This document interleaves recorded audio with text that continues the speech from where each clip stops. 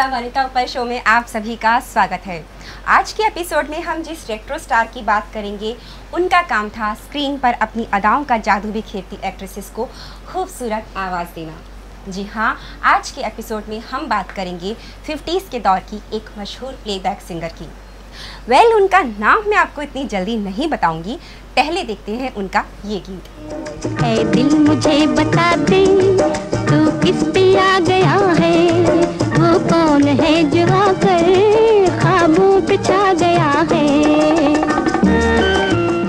अब तक तो आपने पहचान ही लिया होगा। हम बात कर रहे हैं बंगाली मिठास की मालिका गीता दत्त की। 1930 में जन्मी गीता दत्त एक बंगाली परिवार से थी। बचपन में कुछ समय के लिए उन्हें गीत संगीत की फॉर्मल ट्रेनिंग मिली थी। लेकिन फिर परिवार की फाइनेंशियल प्रॉब्लम्स की वजह से उनकी क्लासिकल ट्रेनिंग बीच में ही रुक गई। 1942 में उनका परिवार रोज़गार की तलाश में बंगाल से मुंबई शिफ्ट हो गया, जहाँ इनके parents music composer Hanuman Prasad के संपर्क में आए। हनुमान प्रसाद ने गीता दत्त के हुनर को पहचान लिया और 1946 में आई फ़िल्म भक्त प्रहलाद ने उनसे कुछ लाइन्स गवाई। ये गीता दत्त का फ़िल्म इंडस्ट्री में फ़र्स्ट क्लिप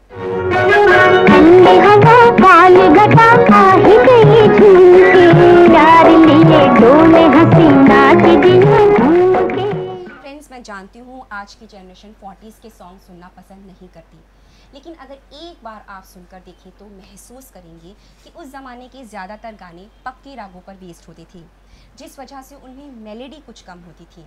ऐसे में जब गीता दत्त का गाया, मेरा सुंदर सपना सॉन्ग आया होगा तो मेलेडी के प्यासे लोग गीता दत्त की मीठी आवाज़ के दीवाने हो गए होंगे।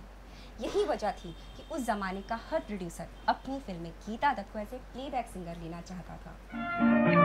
मेरा सुंदर सपना बीत गया। मैं प्रेम में सब कुछ हार गई बेदर्द जमाना जीत गया। मेरा सुंदर सपना बीत गया। 1947 में गीता दत्त की आवाज़ को पहचान मिली और 50s के दौर में उनकी आवाज़ का जादू बरकरार रहा। ये उनकी खासियत थी कि वो जितनी आसानी से एक भजन गाती थी, उतनी ही आसानी से एक कैबरे नंबर भी गा देती थी। लेकिन उनकी आवाज़ में एक ज़बरदस्त सेक्स अपील थी, जो कैबरे नंबर्स के लिए ज़्यादा परफेक्ट थी। इसीलिए उनके गाय इस तरह के सॉन्ग हमेशा चार्ट बस्टर्स रहे। बाबूजी धीरे चलना कार में जरा संभलना।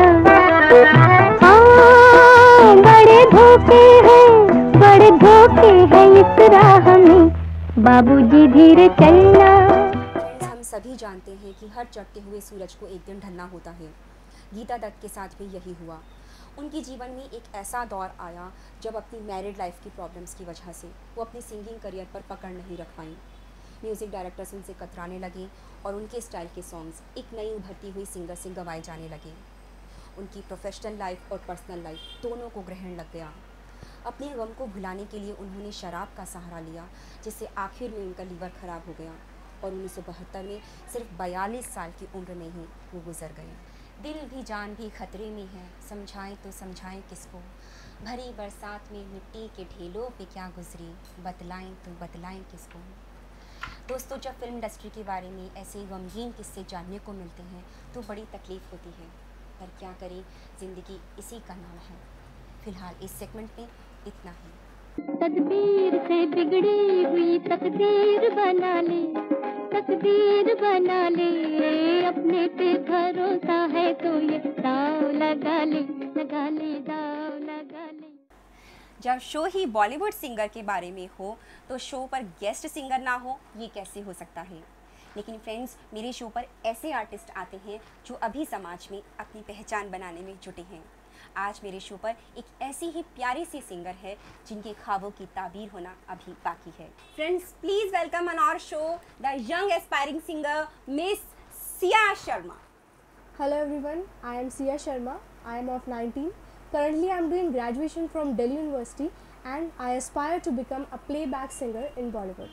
Siya दर्शक जानना चाहेंगे कि आपको म्यूज़िक में इंटरेस्ट कब और कैसे आया बेसिकली म्यूज़िक का इंटरेस्ट मुझे बचपन से ही है मेरे मॉम डैड अच्छा गाते हैं, इसीलिए उन्हें देख देख कर भी मुझे काफ़ी शौक़ पड़ा। मेरी मॉम की सारी higher studies music and instruments में ही है, और जब वो घर पर रियाज करती थी, उन्हें देख कर मुझे ऐसा लगता था कि हाँ कुछ बात है, मुझे भी इनसे सीखना है। उनको देख देख कर मुझे म्यूज़िक का शौक़ पड़ा। मैंने शुरुआत की सारी सरगम उनसे सीखी है। दो साल इवन मैंने म्यूज़िक प्लस इंस्ट्रूमेंट उन्हीं से सीखे हैं।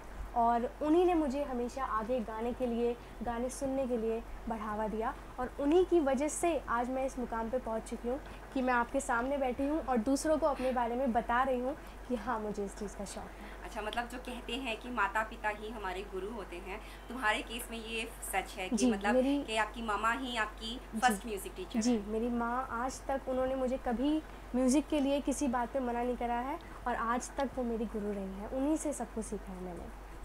फ्रेंड्स अब वक्त हो गया है कि हम सिया की आवाज़ में एक मधुर सा गीत सुने। जब कोई बात बिगड़ जाए, जब कोई मुश्किल पड़ जाए तुम देना साथ मेरा हमनवा जब कोई बात बिगड़ जाए जब कोई मुश्किल पड़ जाए, तुम देना साथ मेरा ओ हम नवा न कोई है, न कोई था, ज़िंदगी में तुम्हारे सिवा। तुम देना साथ मेरा ओ हम नवा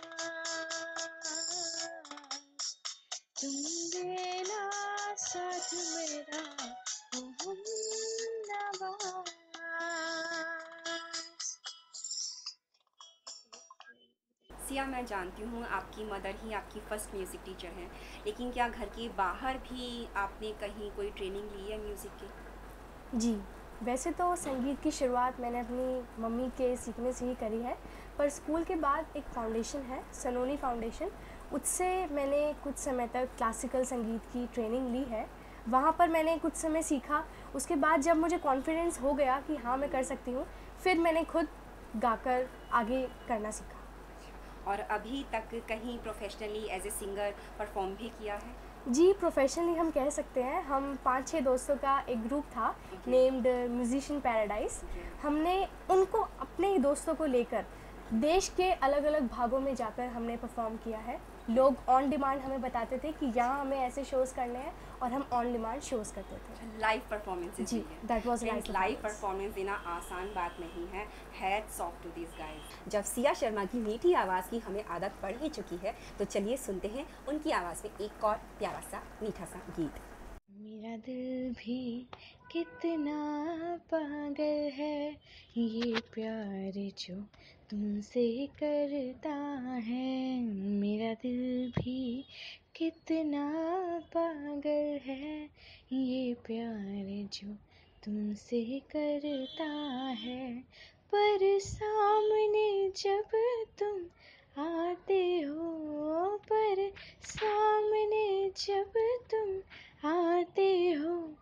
कुछ भी कहने से डरता है, ओ मेरे साजन, ओ मेरे साजन साजन साजन, मेरे साजन। दर्शक जान चुके हैं अब तक कि आप बॉलीवुड में प्लेबैक सिंगर बनना चाहती हैं, लेकिन हम ये भी जानना चाहेंगे कि इस प्लेबैक सिंगर के खुद के फेवरेट सिंगर्स कौन कौन से हैं? ऐसे तो एज सच मैं किसी को जज नहीं कर सकती कौन मेरा फेवरेट सिंगर है। सब अपने आप में एक बहुत बड़े कलाकार हैं, सब संगीत के गुरु हैं, पर जिन आवाज़ों को सुन के मेरा मन नाच उठता है, वो है लता जी, श्रेया जी और सोनू निगम जी। अच्छा। सिया तुम्हें सिंगिंग की ट्रेनिंग लेते हुए काफ़ी वक्त हो चुका है, ठीक है? लेकिन जो लोग अभी सिंगिंग में आना चाहते हैं या ट्रेनिंग लेना चाहते हैं, उन्हें तुम सिंगिंग से रिलेटेड क्या टिप्स देना चाहोगे? जी बहुत बातें ऐसी हैं जो आजकल के बच्चों को जो गाना सीखते हैं या जो गाना चाहते हैं उन्हें जिन बातों का ध्यान रखना चाहिए। जो मैंने अपने आइडल सिंगर से सीखी हैं वो जैसे सांस गाने में कहाँ लेनी है कहाँ नहीं लेनी और जहाँ सुर रखने हैं वहाँ कहाँ फ्रेड इन करना है फ्रेड आउट करना है और बेसिक मेनली जहाँ गाने में मोड़ आता है उस पर हमें हमेशा ज़ोर देना चाहिए ताकि गाने का आगे का हिस्सा हमेशा अच्छा जाए। अच्छी गायकी के लिए ये तीन चार बातें हैं जो मैं बताना चाहूँगी। आई होप जो नए बच्चे सिंगिंग में आना चाहते हैं ट्रेनिंग लेना चाहते हैं सिया के दिए हुए ये टिप्स उनके ज़रूर काम आएँगे। सिया दर्शक जानना चाहेंगे म्यूज़िक से रिलेटेड आपके फ्यूचर प्लान्स क्या हैं? फ्यूचर प्लान बेस्ड मैं यही करना चाहूँगी कि पढ़ाई के बाद एक एकेडमी है गंधर्व एकेडमी मैं गंधर्व एकेडमी ज्वाइन करके अपने क्लासिकल संगीत को बढ़ावा दूँगी। पूरी ट्रेनिंग लेना चाहती हूँ क्लासिकल संगीत की। एक बारी मेरी प्लेबैक सिंगिंग में बॉलीवुड में अपनी पहचान बनाऊँगी उसके बाद साइड बाय साइड मैं अपनी एक अकेडमी खोलना चाहती हूँ जहाँ मैं उन ऐसे बच्चों को ट्रेनिंग देना चाहती हूँ जो फॉर सम कॉज संगीत सीखने की चाहत रखते हैं पर सीख नहीं पाते। सिया चलते चलते दर्शकों से कुछ कहना चाहोगे? जी। अंत में मैं वनीता जी को बहुत बहुत धन्यवाद करना चाहूँगी कि उन्होंने मुझे इस लायक समझा कि मैं आप सभी दर्शकों से अपने मन की बात शेयर कर सकूँ। आपको बता पाऊँ कि मैं आगे क्या करना चाहती हूँ? Thanks a lot Vanita ji. चलिए फ्रेंड्स अब सिया शर्मा की आवाज़ में एक और प्यारा सा गाना सुनते हैं। मेरे संग तू चल जरा। क्यों दिखे डरा डरा? मेरे संग तू चल जरा। क्यों दिखे डरा डरा? चल तुझको आ छुपा लूँ अपनी मैं बाहों में। चल खाब कुछ सजा दूँ तेरी मैं जो संग हूँ तेरे रंग हूँ राहों से तेरी चुन लूँ मैं खा। हर लम्हा यूँ गुजरे के गहरा तो जाए प्यार। अ, सिया अभी हाल ही में मेरा नॉवल पब्लिश हुआ है द वीनस कॉलिंग। चलने से पहले इसकी एक copy as a token of love मैं आपको गिफ्ट करना चाहूँगी। Sure thank you so much and it's a pleasure to be a part of this show. Thanks for being my show Yeah, thank you so much. Friends अब time हो गया है आपके भेजे हुए मेल्स का। आज का मेल हमें भेजा है डॉक्टर विजेंद्र वर्मा उर्फ़ आरव ने दिल्ली से। ये लिखते हैं dear Vanita you are always the best as your shows are I have been watching all of your shows from the beginning the reason behind I like it so much are old songs I'm really crazy about old music, and those songs in your show always make my day. Since I have started watching, I have seen some interesting things about your hosting, Vanita. You and your team is doing a great job. Please play any song of your choice for me. Keep doing the great job. Best of luck and my love to your team. Doctor Vijendra Verma Aarav thanks Vijendra for such a lovely mail आपकी best विशेष मैं अपनी team तक ज़रूर पहुंचाऊँगी अब जैसा कि आपने कहा है कि मैं अपनी पसंद का कोई गाना प्ले कर दूँ तो ठीक है चलते चलते हम देखते हैं आपके लिए मेरी पसंद का ये गीत बाय कहा मेरा जिगर गया जी। अभी अभी यहीं था किधर गया जी। किसकी अदाओं पे मर गया जी। बड़ी बड़ी अखियों से डर गया जी। अरे जाने कहा मेरा जिगर गया जी। अभी अभी यहीं था किधर गया जी। किसकी अदाओं पे मर गया जी।